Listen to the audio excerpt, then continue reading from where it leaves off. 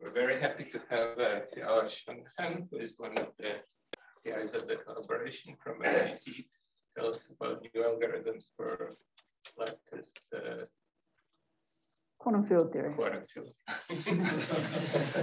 field. okay, very happy to be here. All right, so we've already heard quite a bit about lattice quantum field theory, um, but let's just start with a reminder right from the start. Um, so, well, I guess this is a bit uh, QCD specific that we might discretize onto a four-dimensional Euclidean space-time grid, but of course lower dimensions is also possible. Um, and essentially, we just have a numerical first principles approach to studying the theory, your field theory in, in the um, non-perturbative regime in a way that's systematically improvable, right? So in the limit as the lattice spacing becomes small and the lattice volume becomes large, you can map to your continuum, uh, you know, infinite volume theory.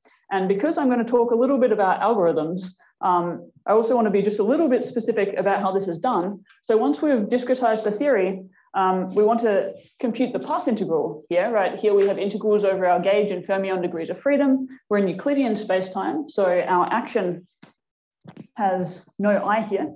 So this is just the path integral weighted by the exponential of the action.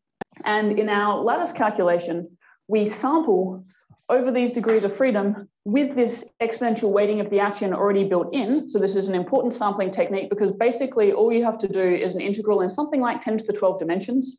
So trying to do that by brute force Monte Carlo would be incredibly inefficient.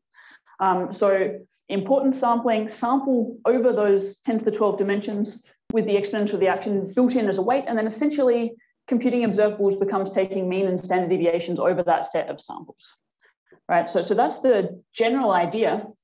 Um, and over the last, you know, it's been really the last five years that we've now entered a, a true precision era for lattice QCD. Um, and this has come at you know, the expense of 30 years of optimization of the relevant QCD codes that we're now in an era of sub percent precision for many simple observables, where simple means observables describing the structure of the proton, say, as well as mesons, spectroscopy, structure, and so on. And so we have highly optimized code bases using many millions of CPU, GPU hours, um, you know, optimized through intensive collaborations with, say, NVIDIA and Intel to run on their chips. And so this is really, um, you know, there have been specific processes designed for QCD. The forerunners of the Blue, Blue Gene Q supercomputers came out of this effort.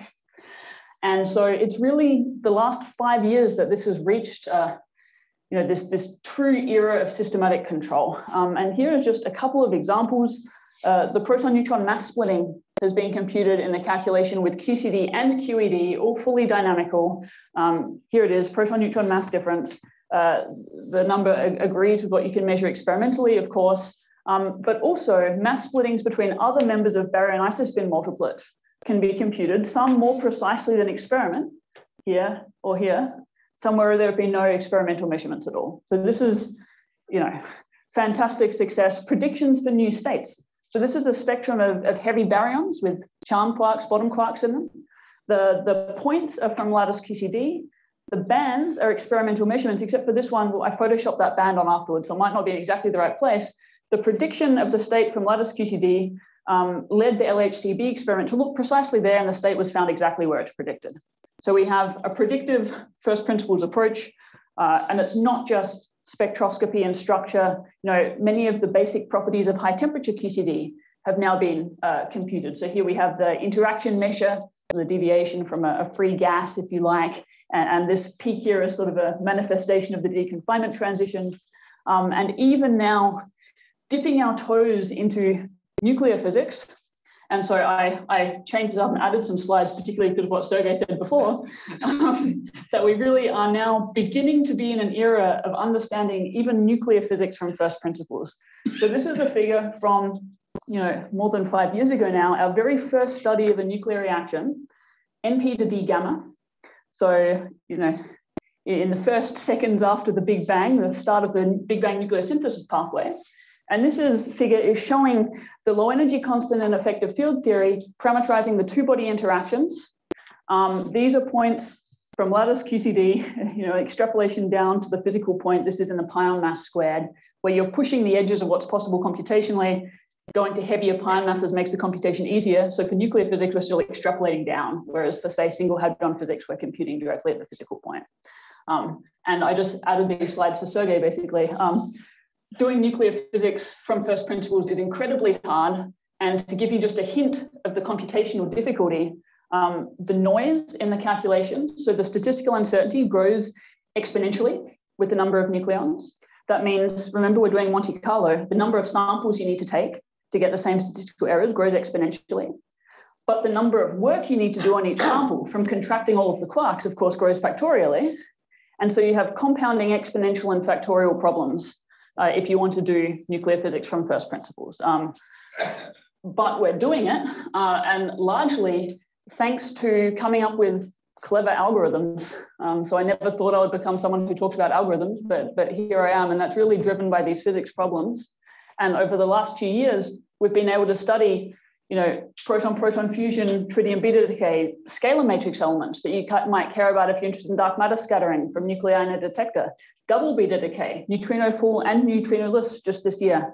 Um, EMC effects, so nuclear effects in the distribution of quarks inside nuclei directly from QCD. And we're just at the very beginnings of this road. Okay, yeah. The, the decay into the photon, uh, how is the photon put in just as an operator? Yeah, so, so you're basically just calculating local matrix elements or matrix elements of local operators. Between, right? between NP and deuteron. Exactly. NP deuteron matrix element. Yeah. Okay, so we've seen um, how lattice QCD can help confinement. This is really some slides from our presentation at the Simons collaboration as a sort of reminder of what we set out to do. We've already talked about the confining, you know, the confining strings that we see emerging clearly in numerical studies. So this is the evolution of lattice gauge theory uh, to 2005. Um, we talked about glueballs, and we'll talk more tomorrow about glueballs and how lattice calculations can really um, you know, give us spectra and now with systematic control, really, with enough investment. What uh, we haven't talked about yet, and I think is something that deserves some more thought, is the apparent connection between some topological features of gauge fields and, and confinement. There have been some really interesting results. This is not my work um, from other groups that connect, for example. So here is a figure from the Adelaide group um, where I did my PhD of the quark mass function in, in Landau gauge here there's a bare quark mass of, of 12 MeV. This is the mass function, momentum. Uh, and the difference between these two curves is this was done in a lattice calculation, and here the, the field configurations were distorted. Essentially, what was done is all of the gauge links were projected uh, and the, to the closest, well, so they went to a maximal center gauge essentially, and then factorized the center element and the remainder, and then threw away the center element of the gauge group essentially removing all of the dynamical mass generation. And so, you know, this is a brutalization of the gauge fields. It, it maybe hints at some connection between center vortices, dynamical chiral symmetry breaking, mass generation. There's a lot more work to be done there to understand, um, you know, what these connections are. Okay, so lattice field theory for confinement what we really talked about was trying to systematically explore the connection between regimes of field theory where confinement is well understood and those where we don't have analytic understanding. Of course, that means going to low dimensional field theories, um, theories without matter, uh, and, and then trying to connect. And one of the problems we face is that all of these developments in the lattice QCD community have largely been for QCD in four dimensions. And we're now at the point where this you know, intense period of 30 years of development and optimization has, has led us to a point where those codes are now not easily adapted to other theories.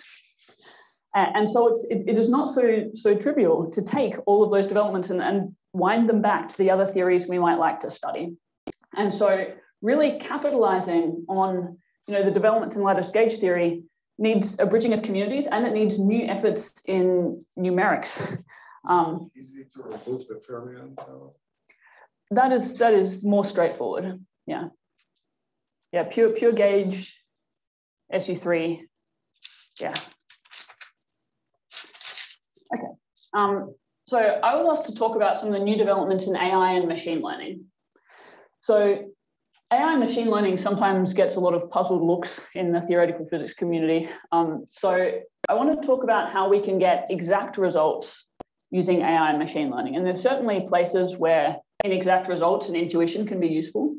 But let's talk about cases like lattice field theory, where you're interested in mathematical guarantees of exactness. In this case, because you want to use machine learning to accelerate your calculation, but you still want to that you're studying a field theory um, in, all of the right limits. So the only place you have here for machine learning then is, is this.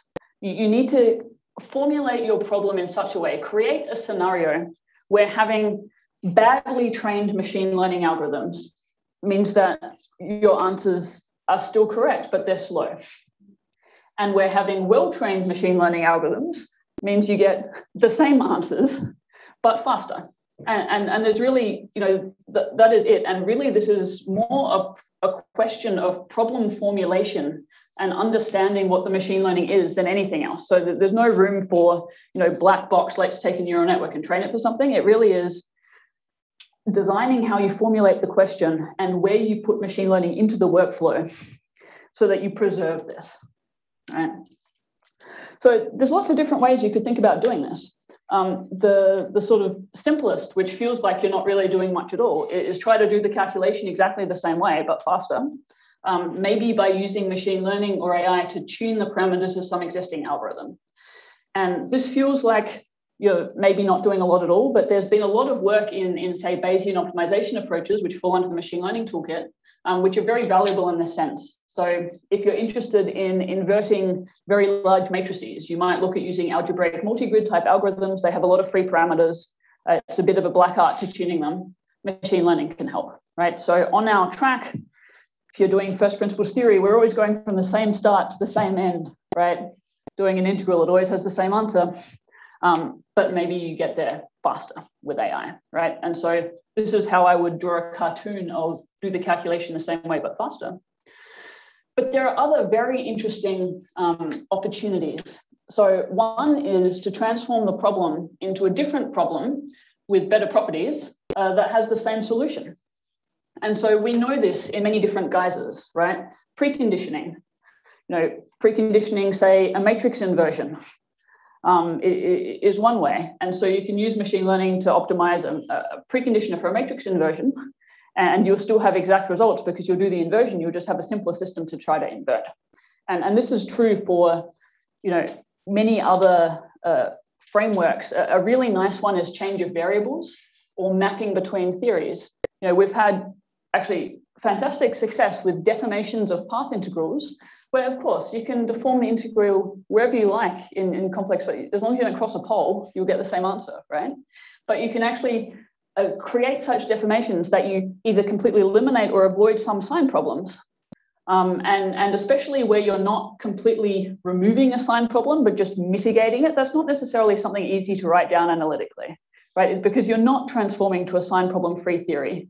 You're just deforming to remove enough of the sign problem that it now becomes computationally tractable, right? Uh, and so these are the, types of things where as long as you design the machine learning algorithm appropriately, in this case, you have to guarantee that all you're doing is deforming a path integral and not crossing a pole, and that has to be built into the structure of your you know, algorithm that you optimize, you, you have possibilities for, for greatly accelerating calculations. Um, another example of this yeah. Previous point, can you, can you give us some kind of a baby version of what you need here by deforming the contour in the context of QCD and fermion? In the context of QCD, uh, easy, uh, deform the path integral, right? So essentially transform all of the gauge fields in such a way that you are, you are just deforming the integration contour. And so in the, in the context of lattice QCD, you, you could have your sample of your gauge fields, you can transform every single one via a map. And as long as you've constrained that map in the right way, you'll still get the same answers for observables. You might just have less statistical fluctuations. But you can even think about it just in terms of a contour integral, right? It, it's, it's, exactly the same thing. So you're saying you're updating the, the, the lattice configurations in a different way from the way it's normally done? I mean, normally you do it using some local algorithm like an heat bath or a Metropolis algorithm, but you're, you're doing something in addition to that. Yeah, you, you, you have options. You, you can either sample them in a different way, and actually my next example will be all about sampling. Um, so you can sample them uh, essentially with an observable specific weight rather than just the exponential of the action. Essentially, you can weight them in such a way that you guarantee the same expectation value, but uh, not the same variance. But, you have to know somehow that the, the, result will converge to the same thing that you would get if you use Metropolis or heat-bath, right? Uh, you, you guarantee that by the structure of the deformation. Okay. So that, that is built in even before you do any optimization, you will always have the right answer. Just badly optimized, you have an even bigger variance than your naive approach, but well optimized, you have a smaller variance, but you always have the same. Um, and, and, if you'll be patient with me a little yeah. bit more longer, uh, what about detailed balance? Yeah, so in for this contour deformation, yeah. um, that is something you can do post facto. So we're no longer talking about in the sampling step. But the next example I'll give you is all about sampling, and there we'll talk about why you don't need to worry about detailed balance. yeah. I know with the contour deformation, is it like complexifying somehow the, uh, when you do the integrals there over gauge links, do you make them complex or, or you still? Yeah, I mean, you, you have choices in, in the formulation of the theory, but you, you can think of it exactly like that. You can think about it as just a complex integral that you're deforming. Yeah then you just know rigorously that you have to get the same answer. Exactly, Un unless you cross a pole, which you want to make sure you don't do. Yeah, it's just yeah. So so uh, uh, another example, and here we'll get to sampling, um, is to solve a different problem and apply a known correction. Right. So my, my cartoon of that is like this. Um, and so one example of this would be to map from one observable to actually a different observable than the one you wanted to calculate uh, and then apply a bias correction step. But you need to be able to prove mathematically that that bias correction will in fact uh, return you to your original observable. Um, an example that I'll go into in some detail is if you're trying to sample from a probability distribution, sample from a different probability distribution nearby and reweight. Um, and, again, you, you, can make that rigorous. So I think um, I think there's lots of potential for these sorts of exact ways to use machine learning. And I sort of decided that it's it's more useful for generating conversation that's sort of the work of this collaboration to actually go into some detail into an example rather than just saying it can be done, right? So I, have picked one, um, and, and the one that I've picked is to do with flow models, which in this case we can think of as just being machine learned maps between probability distributions. So here's a probability distribution over Z, and here's a different probability distribution. And the flow model is just a change of variables, right? So what makes it a flow model as opposed to any other change of variables is that we want this map to be invertible and have a tractable Jacobian. It needs to be a one-to-one map. Um, and it also needs to have very many free parameters that we can optimize. And that's the machine learning part or the, the training part, right? Is that we define this one-to-one map with lots of free parameters, and then we optimize it to some task, right? Okay, so one such task, um, and we'll talk about some others, would be to generate gauge field configurations. So the first step of any lattice field theory calculation is that we need to sample field configurations here according to the known probability distribution given by the exponential of the action, right? And let's just visualize that, that this is just for a scalar field theory. These are actual scalar field theory field configurations, but we can just visualize them here as a real number at each site. It means we want to generate these configurations, which have you know, higher probabilities much more frequently than this random noise configuration, which has lower. So immediately you see a few things. Um, first, you see this looks a lot like a problem that, that has received a lot of attention in the machine learning community, image generation, especially for scalar field theories. It, it looks a lot like that. And secondly, you see that there's structure here, right? These likely configurations have correlations on this sort of canonical scale, right? And, and so we need to be thinking about how that physics comes in. Obviously, we have traditional approaches for generating field configurations that's typically done by a Hamiltonian or hybrid Monte Carlo, which is essentially integrating, you know, injecting random momenta and then integrating the Hamiltonian uh, dynamics trajectories. So you update from one configuration to the next to the next uh, in this way that, that samples from different level sets in your probability distribution. Um, the problem with that is that you have a, a correlation length, right? Because you're taking small updates from one sample to the next to the next. Um, and, and, this was already addressed earlier today, uh, you have a particular problem when you want to go to find lattice spacings that those updates are close to local or diffusive, if you like. And so if you need to decorrelate your samples on some physical scale corresponding to the size of a proton, if you want to study the proton, as you take the lattice spacing finer, you need more and more and more updates to decorrelate physics on that scale. And that diverges, and this is a manifestation of critical slowing down, and it's a, a great problem. Okay, so I think very obviously there's a nice application of flow models here. I mean, if we had flow models acting as an, as an approximation of the trivializing map that maps between a trivial base distribution and the distribution we, we care about, which is the exponential of the action here, then you have no sampling problem, right? Just quite trivially. For a scalar field theory, think sampling from a Gaussian at each site on the lattice, completely uncorrelated. Right? You just take your completely independent samples, you put them through your map, and you have independent samples of the probability distribution you, you want to sample from. If we want to treat this as a machine learning problem, you have to optimize that map somehow, right? And, and typically, uh, we don't have a lot of samples of our target distribution lying around, otherwise we wouldn't be trying to generate them. So you have to optimize them without training data, right? If you think about machine learning, often you think about training data. Not necessarily the case, right? We're just talking about, in this case, a map with a lot of free parameters. And you can optimize, for example, with this loss function, this is the function we're optimizing. And this can be anything you like, as long as it has a minimum at the probability distribution you're looking for. So for example, you can estimate this loss function stochastically by drawing samples, completely independent samples, saying, with what probability did I draw this sample? And well, with what probability should I have drawn this sample and minimize the difference? So you don't need any data, right? You can just self-train this. Um, and then, of course, it will never be exact, but we're trying to do exact physics here. Because this map is one-to-one, -one, you're guaranteed to sample everywhere at, at some point. And so you can either reweight your samples or form a you know, Markov chain of your completely independent samples with a Metropolis Hastings accept reject step, and you have all of the usual guarantees that you have with, say, HMC. So this would be one example um, of these sorts of flow models acting as, as trivializing maps. Um, and proof of principle applications to simple lattice field theories um, reveal a lot of potential, uh, potential advantages of this approach. So a mitigation of critical slowing down and topological freezing. And as I promised, I'll go a little bit into detail so you can see how these sorts of things work. And so we'll see this.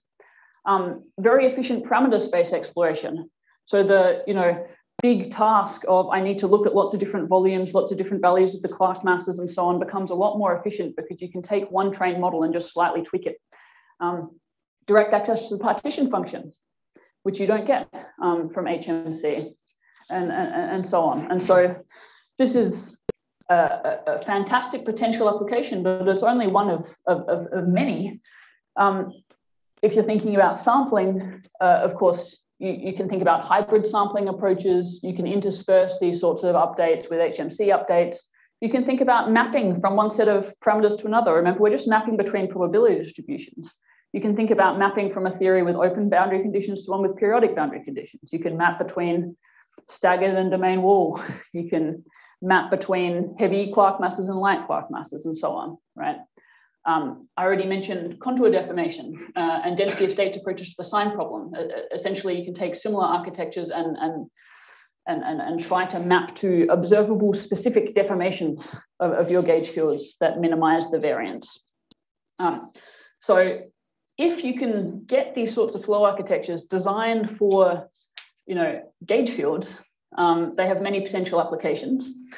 And the big you know, fundamental problem here is, is you have to do the engineering work. You have to engineer flow model architectures that effectively parameterize transformation to the lattice gauge fields. That means you have to write down diffeomorphisms on lattice field degrees of freedom um, that have you know, encode symmetries, gauge symmetry, translation symmetry, and, and so on and they have to be very flexible and expressive so you can optimize them to map between whatever pair of distributions you're interested in looking at. And so you certainly can't take you know, some machine learning algorithm off the shelf. You have to design this from the ground up. And it's really just maths, right? Except you let all the parameters be free and then optimize them at the end. Um, okay, so I'm going to lead you through this. This is sort of one example of machine learning. And uh, applied to lattice field theory, and I'm sort of going to lead you through the various steps here. And even if you're not interested in, say, sampling problems, I think there's a lot of lessons here that can be applied to, to other situations, especially on the, you know, designing machine learning algorithms for theoretical physics in these provably exact ways. There's sort of a lot of little pieces along the way that might tweak something that we can talk about later. Okay, so this is really something we've built up over the last few years. And let me start with an example application to scalar field theory because it's easy to understand. So here we want to transform, again, from a base distribution, so for scalar field theory, a real number at each site of a 2D lattice, looks like an image, right, to our target distribution, which is given by the exponential of the action, right? So we can write down a map here with lots of free parameters as a composition of many simpler layers, right? Composition of many simpler transformations. And we can get this feature that this is one-to-one -one with a tractable Jacobian and invertible in, for example, this way, where we split the degrees of freedom. So for example, a checkerboard, so the green degrees of freedom go one way, the black go another way. So in one of these layers, we just leave the green degrees of freedom alone, right? But the black degrees of freedom get updated like this. So the green degrees of freedom are here. They just stay the same through the transformation. The black degrees of freedom get updated through a scaling and a translation. And those scaling and translation, S here and T, can be any function you like, conditioned on the green degrees of freedom that didn't get touched. So what this variable partitioning gives you is an upper or lower triangular Jacobian. And so no matter what these functions are, S and T, um, those can be arbitrary neural networks, they can be whatever you like. This thing is invertible and has a tractable Jacobian. And so you can put all sorts of free parameters in there, stack all of these layers together, you know, transform first one half conditioned on the other, then vice versa, to get a, a very complicated map that you can then optimize in this way for sampling. Um, and in, in fact, it works. Um, so here's an example back from 2019 where we first did this, uh, demonstrating accelerated sampling of these scalar field configurations. And so what you see here on the horizontal axis is changing the, the lattice extent, so the size of the configurations. On the vertical axis is the integrated autocorrelation time, or a measure of sampling cost, if you like. Here we see hybrid Monte Carlo, uh, local metropolis, so another standard updating algorithm. And you can see the, the sampling cost diverges exponentially, moving from left to right in both of those cases. Um, for the flow-based sampling, it's flat, moving from left to right, and that shouldn't be surprising. That is by construction, right?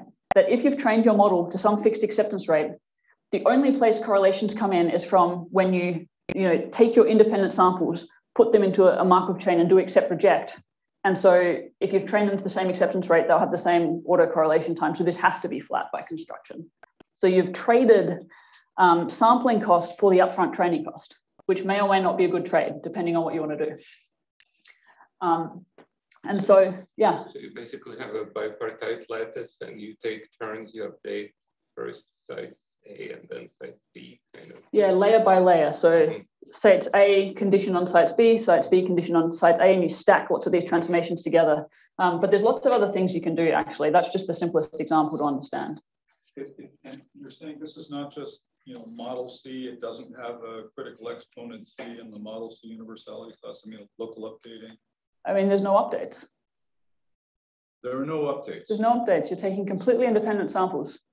So sort of by construction, no. Um, there, there can be slowing that, you know, training can get harder approaching some limit and getting to the same model quality can get harder, but you won't see a slowdown in sampling.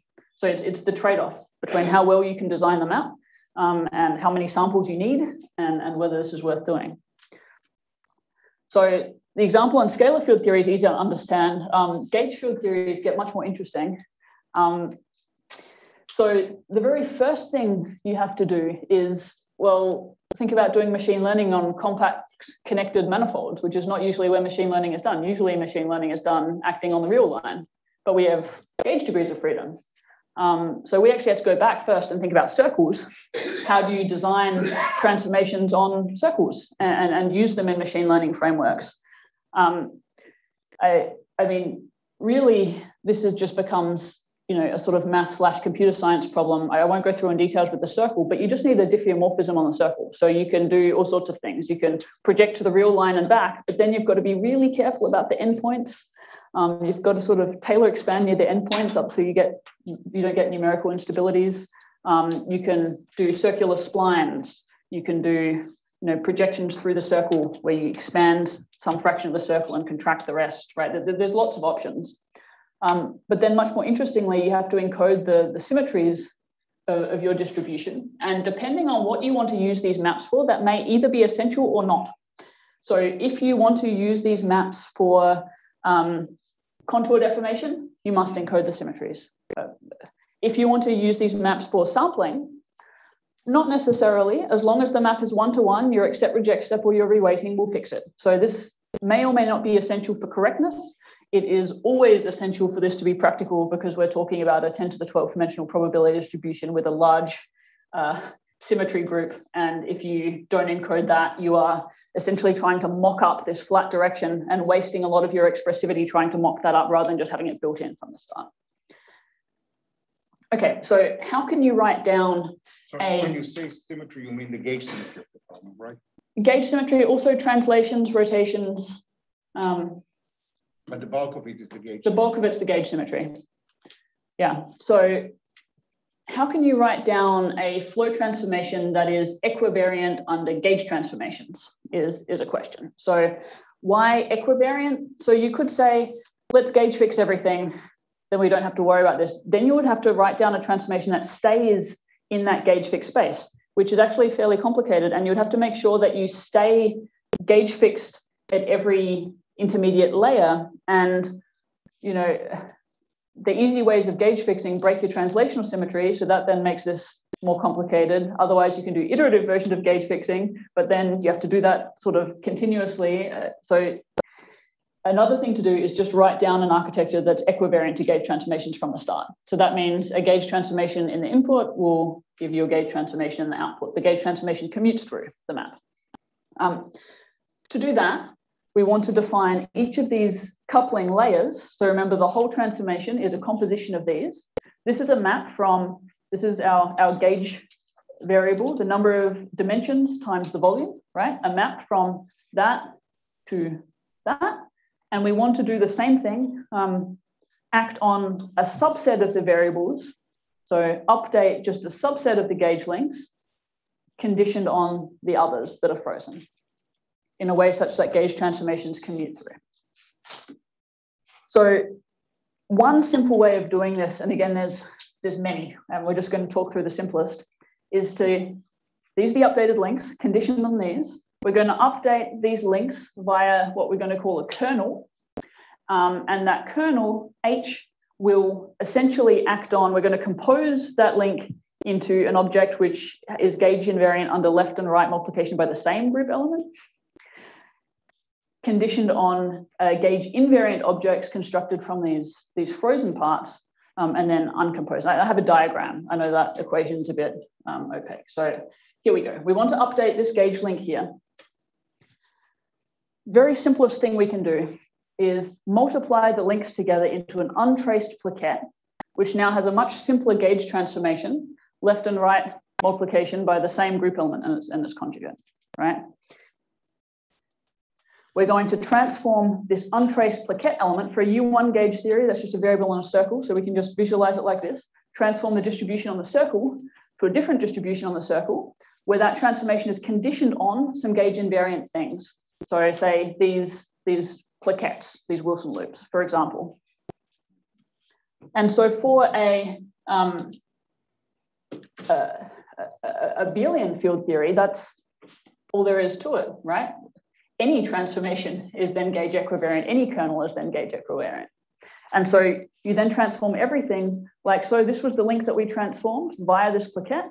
We can transform these entire stripes of links in the first coupling layer, and the next one will transform the next stripes of links, and so on. And you stack those layers until you transformed everything multiple times, um, and that gives you a, a complete transformation. It gets a bit harder when you talk about non-abelian theories. And so this is where things really get fun. Um, so here you can do the same thing, really. So this diagram, the gray parts is what I described before. That we take this link, we compose it into an untraced plaquette, we transform it, and then we, we go back. In the middle, though, is what happens for um, non-abelian field theories, where what you can really show is that the, you can prove um, that the most general transformation basically needs to transform an n-tuple of eigenvalues in a permutation equivariant way while leaving the eigenvector structure intact. And so that's essentially what you need to do. You need to do an eigen decomposition of these untraced plaquettes, um, permute everything into a canonical permutation, to a canonical cell, transform in that canonical cell, unpermute, uh, you know, un undiagonalize, recover the eigenvalues, do an eigen recomposition, and put it all back together again. And so this is, uh, I think, sort of a nice example of how complex these these algorithms can now get that this is actually something tractable. A few years, this was not a tractable proposition for me to say that we're going to take, you know, this 10 to the 12 degree of freedom object, we're going to do eigen decompositions throughout this entire structure. We're going to transform things in permutation equivariant ways do eigen recomposition put it all back together. Um, that just wasn't something computationally feasible, but now it is. And that's now the point we're at at machine in, in the machine learning world that you can write down this absurdly complex transformation, which has lots of free parameters and all the symmetry properties you like, but has this you know, wildly complicated description um, and actually implement it. So let me show you just a couple of examples. So U1 field theory, again, very easy to understand. You know, our action just a coupling and our plaquettes, so a, a, number on the circle on each site. You can just choose the prior to be uniform numbers on the circle, you know, easy. You can put these gauge equivariant coupling layers together. Um, the kernels here can be whatever you like, say mixtures of non-compact projections, uh, where you can take the parameters of those non-compact projections as the output of complicated neural networks. Again, that can be as complicated as you like, lots of free parameters. It will still be invertible, um, still be one-to-one. -one. You optimize it, and then you can use it for sampling. And, and that's what we see here. So doing this, you actually get um, much more efficient sampling than you do through hybrid Monte Carlo. This is the topological charge. So if you like the winding number of the gauge field, so approximately quantized from the Atiyah index theorem. This is the Markov chain step. This is hybrid Monte Carlo. This is heat bath. You can say that essentially you're stuck in fixed topological sectors topological barriers get too high and because they're updating algorithms, you just don't transition between sectors very often at all.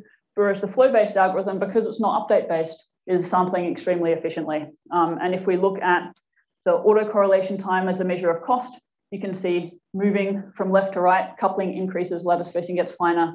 Um, the cost of conventional algorithms grows exponentially. The cost of the flow-based sampling grows only a little bit. That's because training gets harder over there.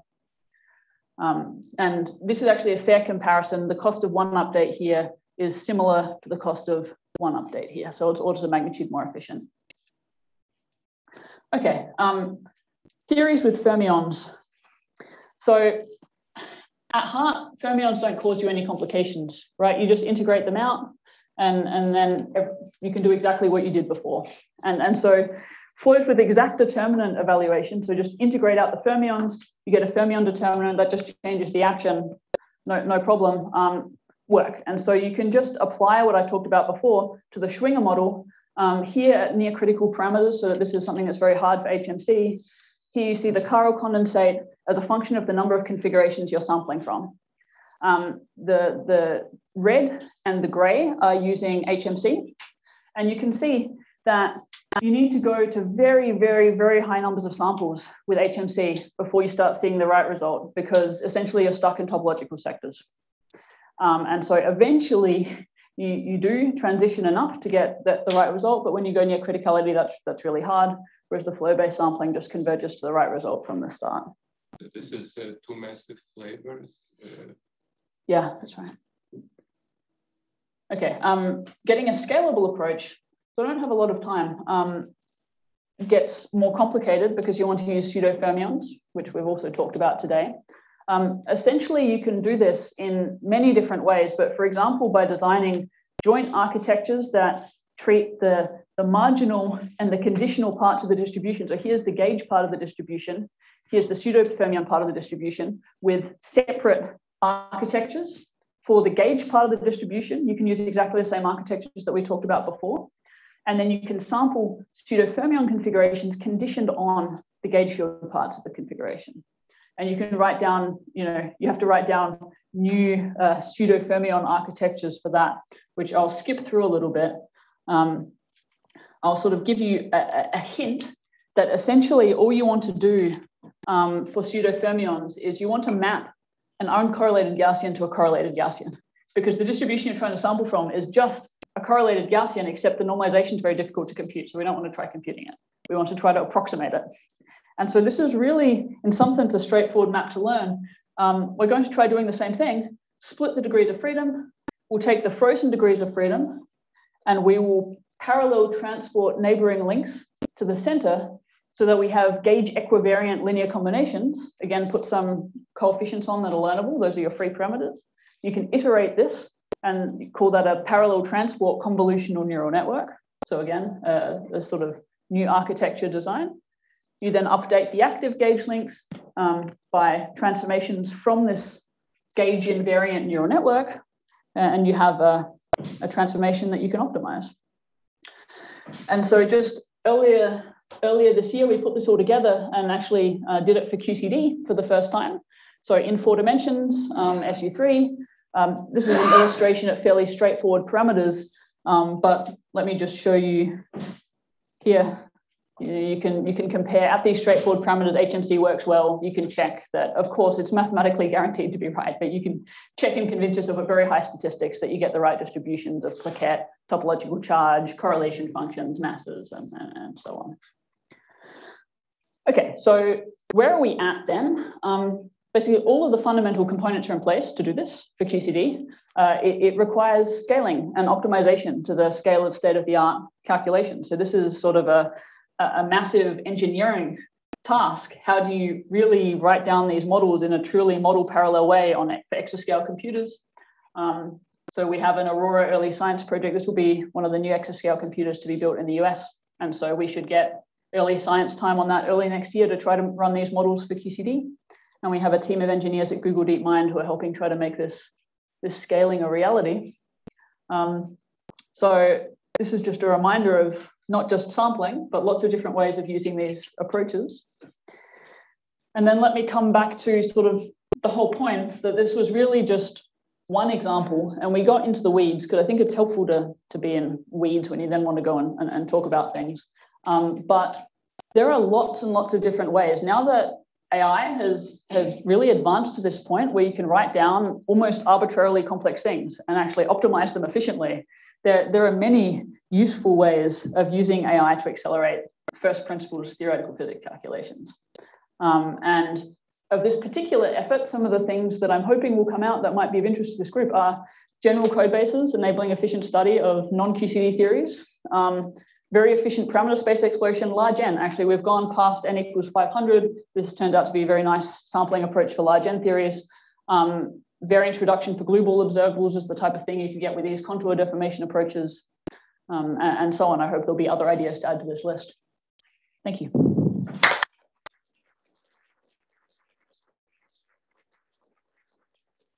Well, that's a great talk. Uh, can you give us some um, numerical estimate of how much better you could do in one year or five years? Some idea of you know, how how powerful is going to become? Hard to answer because it depends on the problem and it depends on how well we can get these things to run at exascale. You know, it's it's at the moment it's not even clear we can make these things run at exascale, right? We're, we're talking about the same size machine learning models that have so far only been used in industry applications for, say, natural language processing or for AlphaGo Zero. And we're talking about trying to optimize something of the same size for an open science application.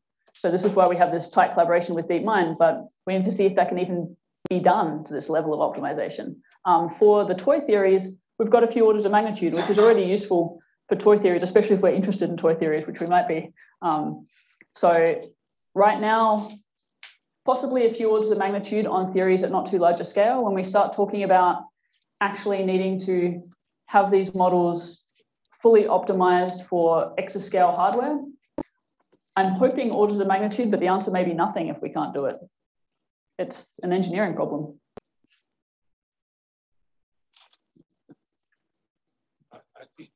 Yeah, so it's more on the early part of the talk where you showed how it agrees with experiment. There's one number that many of us would like to know, which is this matrix element that controls the muon dipole moment with the big controversy. Are you going to shed any light on that? Uh, did you say the muon EDM? Yeah. Yeah. Yeah, so there's one number there that is still Yeah, so- The- There's, I mean, there's a couple of groups calculating, you know, all of the relevant dimension five operators that, that you might want to write down, right? Um, it it's hard. They it so it, it, it turns out there seem to be larger lattice spacing dependence than one might naively expect for that particular operator. Um, so you need to get down to final lattice spacing to get true systematic control. But I, I think I think things exist already at 15% uncertainties um, now. The last I heard, there's still a discrepancy between the lattice and other methods, and there's also the measurement. And it's very interesting to know what the right answer is. So I'm Oh, wait, wait, wait, I- you're going to do any better. Wait, sorry, I thought you were talking about the neutron electric dipole moment. Are you talking about G minus two of the muon? Oh, G minus two of the muon. Oh, Yeah. right. Um, yeah. So, I mean, the BMW collaboration had that result that is, you know, very precise. And so right now there's three or four other collaborations trying to mimic that precision. The latest is that there are some observables that are slightly easier to get at that level of precision, which are sort of window observables, where you mask out the, the, the, the windows that are particularly difficult to control. So this is then not a physical quantity, but one that lets you compare between different lattice collaborations earlier than having the full, and they seem to agree with the BMW calculation so far. But essentially, it's going to need a few more years before the US groups have the computing. It's just a matter of computing investment to confirm that result from the BMW group. But so far, the intermediate checks um, seem to agree. That's in the last couple of months, there have been a couple of papers. Raju, Yeah, you mentioned, you know, minimizing the sign problems as in, uh, ways. how about real-time problems? Uh, you know, if you want to look at the autocorrelation functions, for instance, uh, is, is this something that this would uh, speed up significantly? I mean, It is this issue of analytic continuation. That, uh, Yeah, I mean, not this. Um, there's lots of other interesting things you can do about trying to get at real-time dynamics. Um, I mean, most of them end up going back to the Hamiltonian formulation, of course, but but there are some really neat ways of trying to use both machine learning and, and something I've been working on lately is trying to match between Euclidean and Hamiltonian formulations and how, how you really could match things like interpolating operators using classical lattice calculations between the two to, to, to try to um, accelerate, but not, not what I was talking about before. But there's lots of cool things there we can talk about after. So I would like to ask a question which is uh, similar to what uh, David asked. Um, so um, what are the, like the limitations in terms of like memory and uh, I mean how these issues would be you think they would be resolved I mean the future and the reason I am asking I mean I'm mostly interested in the larger in large N gauge theories but I mean I understand that machine learning is like very promising but uh, I mean if, if this is something that it won't happen in the next like two, three years. Maybe uh, it is worth, I mean, focusing on also other other algorithms that uh, are, let's say, more efficient than uh, than heat bath, like for instance, uh, uh, parallel tempering. Yeah, so I mean, memory is not too much of a problem. Um, the problem with scaling up is really, it, it's the training. That's the scaling up training in such a way that you truly have your model parallelized over many GPUs on many different nodes efficiently um, is, is, is hard. I mean, you have to really think about designing the algorithm, not just what's best for the physics. I mean, so far we've been thinking about how do we encode correlations at the right scale efficiently? How do we make this look like the trivializing maps we know should this should be approximations of? But you also have to think about communications overheads. And you might sacrifice a little bit of the model architecture that you'd really like for something that will run more efficiently on your cluster. Um, and so it's the training where the challenge will be that running the model itself is it's they're actually not that large. It's very efficient. It's the optimization process that you know we, we need to see can we even optimize a model so large uh, to okay. such a high precision? That's that's the question still. Hate to interrupt this amazing discussion, but uh, uh, we I hope we can continue over the break. Let's take a 15 minute break.